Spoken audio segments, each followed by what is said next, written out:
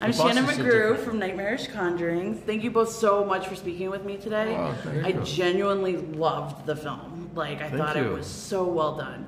So That's since you awesome. both have worked on, you know, different movies within the franchise, how does it feel to be back in the saddle?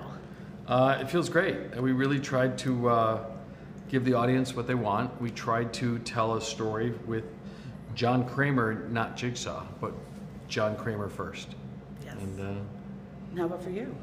It it was a story that we wanted to tell for a long time. Oh, And we wanted to bring back John alive.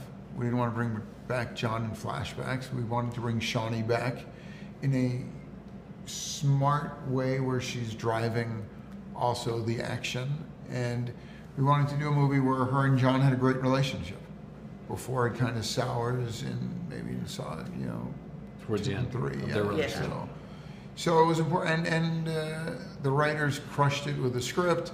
Kevin did a brilliant job directing this movie. It's it's the longest Saw movie we've ever made because it needed to be long. Yeah. It needed to tell a backstory. We needed to understand who John Kramer was and why. It's not just Jigsaw, and we, we learn and feel and empathize with all the people in the movie. well, not all of them, but. So. What were some of the biggest challenges in bringing this to life? COVID. I mean, we kept getting shut Absolutely, down. yeah. Kevin got sick. The cinematographer got sick. Toby. I mean, so it took a an extended period yeah, to I think shoot the COVID. movie. Oh wow. But uh, we got really lucky. We'd never shot in Mexico City before, and then we actually never identified. oh, identified. so you really you were in Yeah, Mexico yeah, we City. shot oh, in and we never Mexico, identified ever in a Saw movie where we were, like where you are.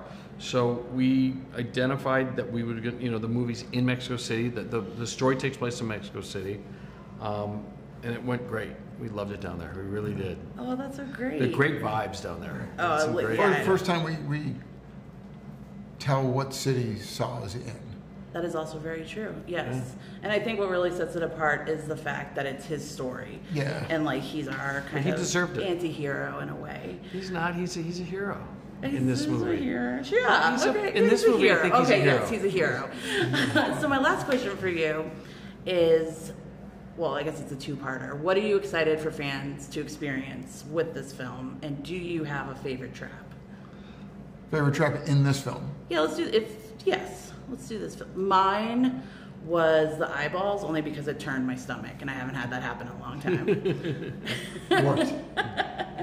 Um, I, for the fans, I'm just so excited to them to see a story. It's not mm. just blood. It's not guts. It's a pure story. That's why it's by far the longest one we've ever done, and it, it, it tells a story that could happen to you, to me, to mm-hmm. Mark.